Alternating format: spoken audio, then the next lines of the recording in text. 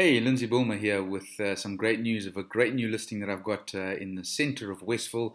It's priced at 3.5 million, has three bedrooms, a sparkling pool, and a lovely spacious garage, double garage that is. Uh, if you want to find out some more information about this uh, listing, why don't you give me a call on my number, and I hope to chat to you soon. Ciao for now.